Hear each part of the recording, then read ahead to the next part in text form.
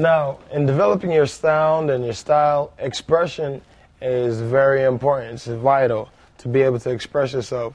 And another way to do that, aside from just shaping your sound, is volume. Now, we have two ways to control the volume. One is over here on the left, which controls the master volume, and whether it's going to be normal or soft.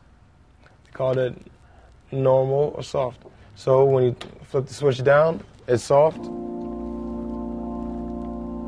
When you turn on, it gets it enhances the sound just a little bit louder. So that gives you your, your whether it's going to be that much louder or that much softer here. Now the second way you're going to control your sound is down below. Now we have my uh, the foot pedal, and it's actually called the expression pedal. My right foot there. You control your sound by uh, waving it back and forth, toggling it back and forth, and down is softer, up is louder.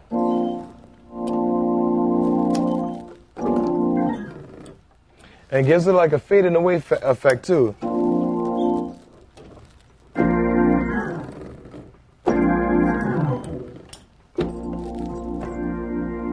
Or let's say you were doing it this way. Bring my my settings up. Down low. It's wimpy. Gotta have give some more power.